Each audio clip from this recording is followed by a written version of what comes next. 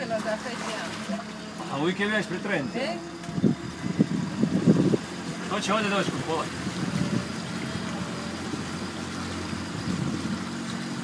Evo ga. Pa šta ima Vesko?